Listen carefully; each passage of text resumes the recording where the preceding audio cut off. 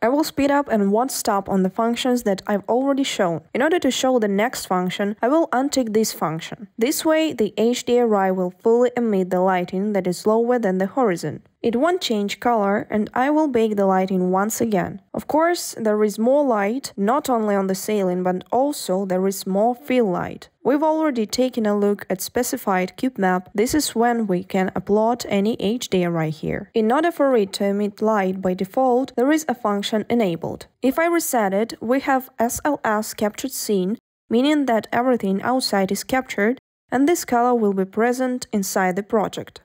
Right now, there is a sphere with an illuminating material. I will bake the lighting as it is. There is no lighting, it doesn't work because sky distance threshold in Skylight is too high. After selecting top in the list, I go to the view from the top and now we can see what distance threshold is. If I change the distance from the center of the sphere, then light capture will start from this point. But it's empty here. From 150,000 centimeters, it is this parameter from the center, the light will be captured in the range of 150,000 centimeters accordingly. The sphere's radius is about 5,000 centimeters. This means that we need to set the distance for light capture in this range. At about this distance, somewhere in the middle, the light will be the same as if we would have used white HDRI. Also, while using such light and setting different distance, the lighting won't be homogeneous, because the center of the sphere is here and the building is slightly shifted in relation to the sphere. Let's see how this actually works. I put 4500 in skylight and start building lighting. The lighting starts to work, but since the sphere isn't in the middle of the object, the light isn't homogeneous.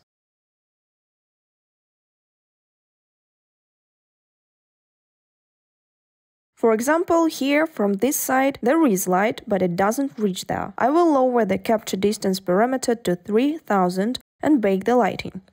Now there is more light and it will work similar to the way if we had used specified cube map and white HDRI.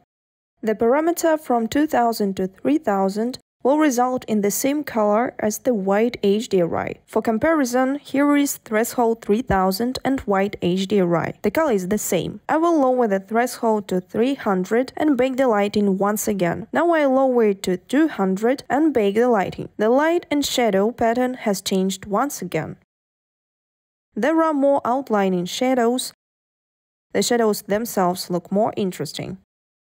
And according to your preferences and goals, you can achieve interesting results by changing that threshold distance. I'll put a bookmark here and here. I will put it even lower and bake the lighting once more. The shadows are different once again. But the scene became quite dark.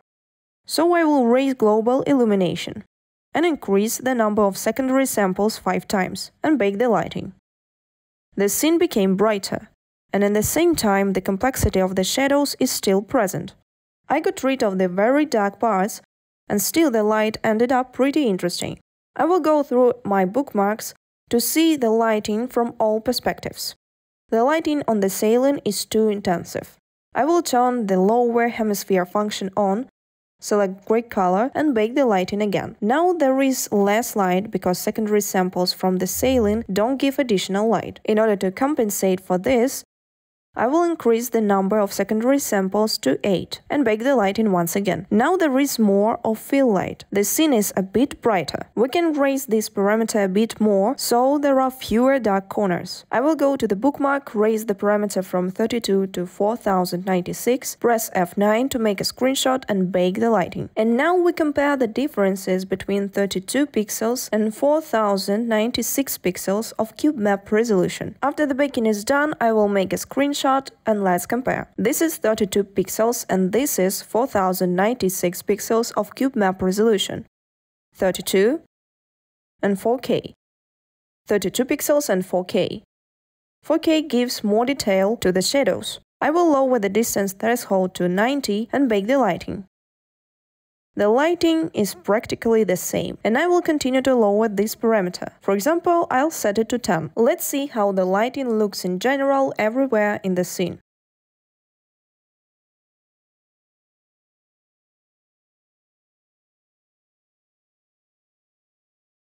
I'll bake the lighting once again. The lighting is still practically unchanged, but if we set distance to zero, the lighting will change. It is so bright right now because I changed the secondary samples and set the parameter to high value. I will return this parameter to 1 by default and bake the lighting. The lighting ends up being unbalanced. Some places are too dark.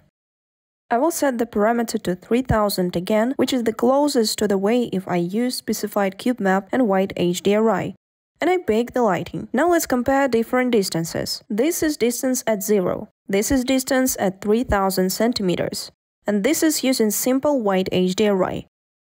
There is another way that doesn't include the illuminating sphere. It is Unreal Engine Sky Blueprint BP Sphere. Go to Add, write the name of the blueprint, I will add it, and go to Lit mode so I can see materials. And for now, we can see the sky outside the window because it is blocked by the white background. I select and hide it. This is how BP Sphere looks like. There are clouds which are hard to see right now. If I bake the lighting right now, the light will be very yellow. This is also an interesting result. In Skylight, I will return distance threshold to default value and let's see how the lighting will change with default setting.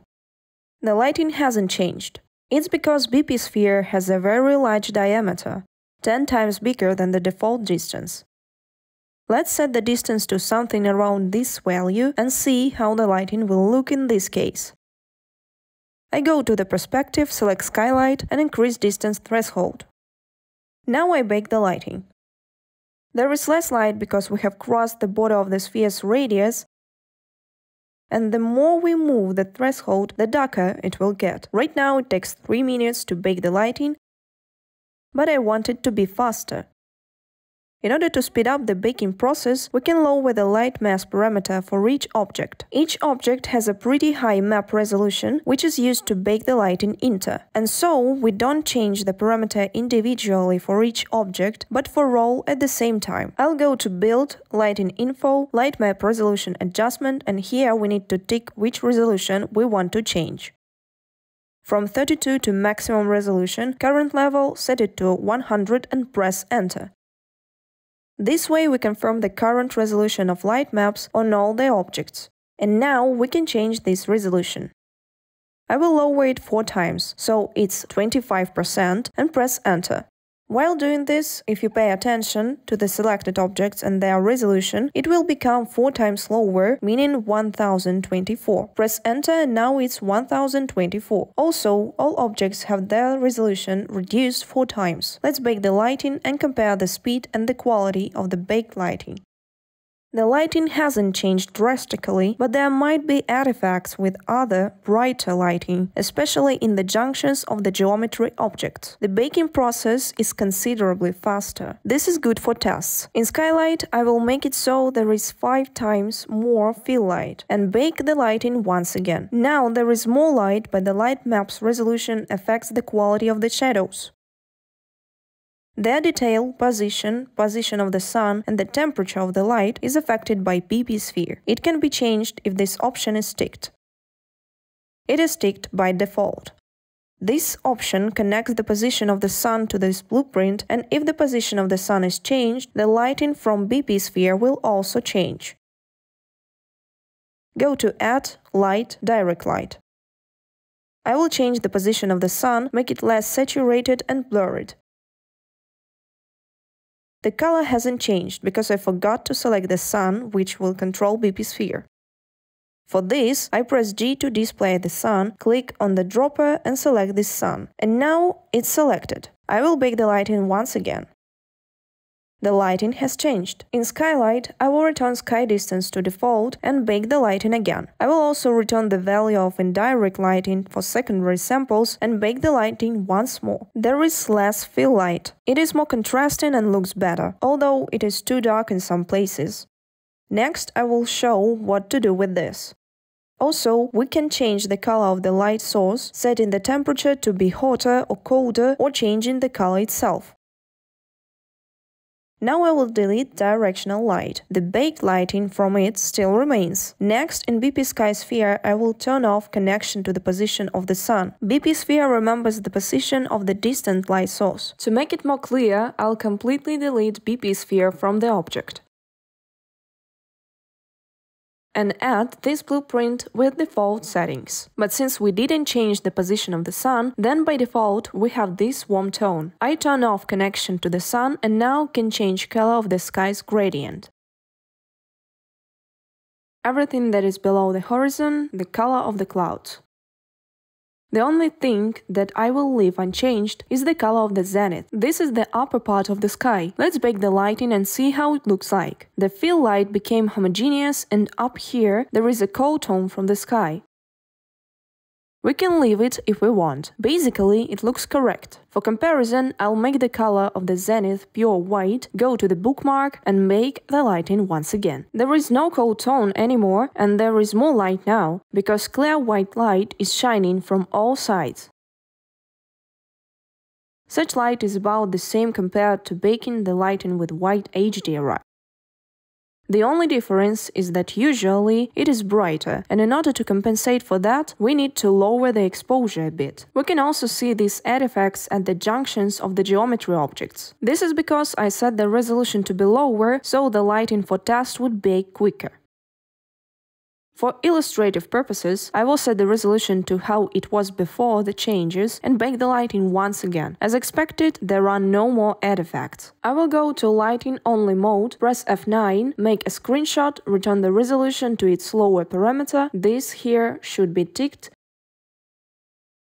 confirm the current resolution, decrease it 4 times, and bake the lighting. As expected, artifacts reappeared with low resolution and the noise became more apparent. And let's compare low resolution light maps to high resolution light maps. Low resolution can be used to change the color quickly, and high resolution should be used for final baking in order to get rid of the noise and artifacts. I'll go to lit mode, select BP sphere, and we can adjust its intensity by lowering the general color of the sky. We can see the changes right away. I will lower this and bake the lighting. There is less color now. I return the setting to default and bake the lighting once again. The light intensity is back. I select Skylight. The intensity of the light being emitted by BP sphere can be adjusted with intensity scale, the same way as we would adjust the intensity of HDRI. I set the intensity to half as much.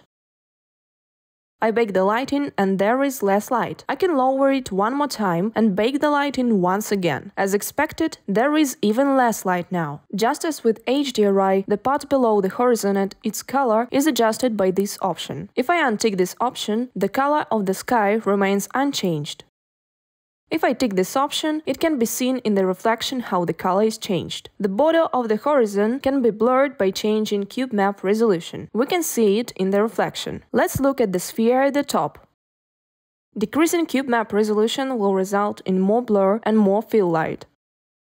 According to this, increasing cube map resolution will result in more clear detail and the light from it will be less homogeneous. For comparison, I baked the lighting with white homogeneous HDRI. Using the specified cube map function in Skylight, I baked the lighting with the captured scene function. There are little differences in the light. I recommend using both captured scene and specified cube map depending on your project. Look at the results and choose what fits you more.